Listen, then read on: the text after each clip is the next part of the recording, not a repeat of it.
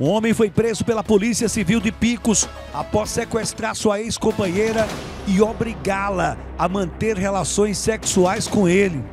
Rapaz, que caba escroto. Ao vivo, Danilo Eliezer vai trazer informações. É um crime perverso, bárbaro. Contra a vontade da mulher, a mulher não quer mais. O cara forçar a barra no negócio desse. Ô Danilo, conta pra gente essa história, ele tá ao vivo. Boa tarde mais uma vez, Danilo Eliezer. Boa tarde mais uma vez, Beto. Olha, infelizmente a gente acaba noticiando esse tipo de crime mais uma vez. Há menos de duas semanas a gente noticiou um sequestro em Picos, no mesmo modus operandi, um homem que acabou sequestrando a sua ex-companheira e mais uma vez isso acontece. Dessa vez aconteceu no bairro Pedrinhas na tarde de ontem e toda a ação foi registrada por câmeras de segurança. A mulher estava saindo do trabalho quando o ex-companheiro chegou, entrou no veículo que ela estava, tomou a direção do volante e acabou passando a noite inteira com ela dentro de um carro. Ela já tinha uma medida protetiva contra esse homem e ele acabou descumprindo a medida protetiva para então acabar realizando esses crimes contra ela. Ele passou a noite com ela dando voltas no carro pela cidade e a polícia então monitorou o veículo e acabou conseguindo localizá-lo hoje pela manhã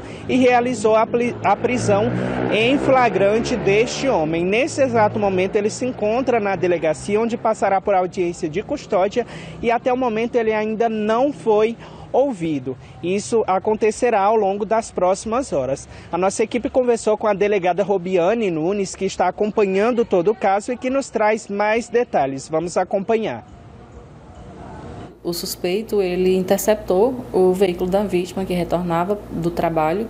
É, ele jogou a moto que ele, que ele transitava em cima, na frente do veículo dela, ah, e aí obrigou a, obrigou a parar, é, tomou a chave do veículo e aí fugiu com, com a vítima é, para lugar indeterminado. Então ele manteve ela em cárcere durante toda a noite e aí a gente conseguiu nesse momento interceptá-lo na entrada da cidade. Ele não aceitava o término do relacionamento, né? Ela tentava pôr fim a essa relação que durou por dois anos aproximadamente. A vítima já havia registrado um boletim de ocorrência anterior e solicitado medida protetiva de urgência. Além do dano, ele também a agrediu é, com socos no momento da abordagem e ameaçou de morte durante todo esse período que esteve com ela em seu poder, além de, segundo é, já os relatos da vítima, tê-la forçado a manter relação sexual com ele na noite de ontem. Então, Beto, são muitos crimes agora que esse homem vai responder. Tem o crime de sequestro, agressão, estupro e também ameaça. Agora, a intenção da Polícia Civil é investigar o caso e tentar converter a prisão dele em flagrante em uma prisão preventiva. Por enquanto, essas são as informações. A gente continua apurando o caso, Beto. E qualquer novidade, eu te aciono mais uma vez. Volto com você aí no estúdio. Ok, muito obrigado a você, Danilo. Realmente o cara é um criminoso nojento, né? E perverso. Pelo amor de Deus, quantos crimes ele não está cometendo aí? Então a justiça tem que punir severamente mesmo.